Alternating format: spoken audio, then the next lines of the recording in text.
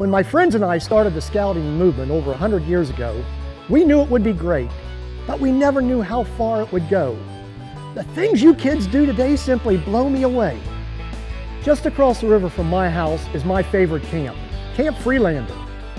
Come on across my bridge and we'll take the tour.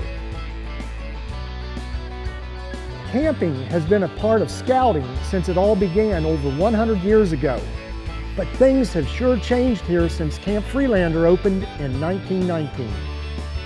Camp Friedlander has had some really great improvements since it opened. One big change is the dining hall. You know, we used to have to cook all our meals in the campsites, and we didn't have these decks and treehouse campsites either. One other really big change since the camp opened is the lake. That used to be a valley. No camp is complete without a trading post, and this one sure has lots of scout stuff in it. But I'm not sure what that blue and red stuff is. But it looks like those guys are really enjoying it. Scouts have always been reverent, but there is no better way to be faithful to your particular religious duties than to worship with your friends in the great outdoors. One thing will always be true about Boy Scout camps, and that is it takes a group of great people to plan and lead all these programs. Camp staff has always been made up of experienced scouts and other experienced individuals who understand how to help scouts learn valuable skills, like the all-important art of knots and lashing. Here at Camp Friedlander, scouts have an opportunity to learn these skills in the outdoor skill area that has innovative training tools, and first-year campers get some intensive hands-on training in the Trailblazer program. Those Eagle required merit badges take a lot of hard work and some extra attention to complete.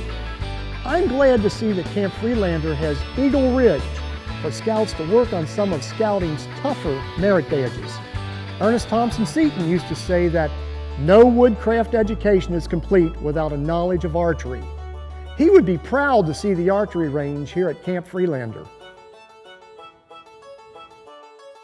Baden Powell used to say, boys can see adventure in a dirty old duck puddle, and if the scoutmaster is a boy's man, he can see it too. Whoever came up with these contraptions here must have had a pretty adventurous imagination.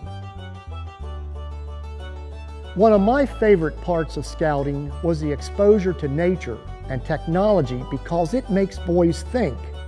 See, I bet you guys thought we didn't have technology a hundred years ago. Back then, we were teaching boys the exciting art of wireless telegraphy. You call it Morse code these days. I see that idea of nature and science are alive and well here at Camp Friedlander today.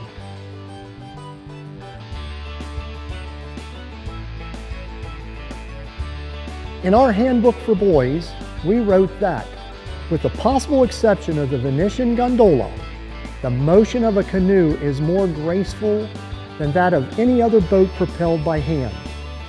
While this remains true through eternity, I have to admit that there are some pretty exciting things happening on this lake.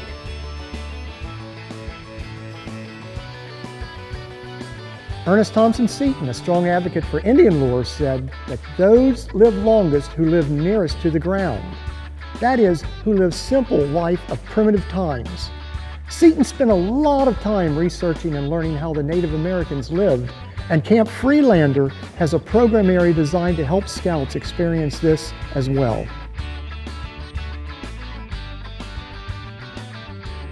It does my heart good to see a scout embracing his artistic side.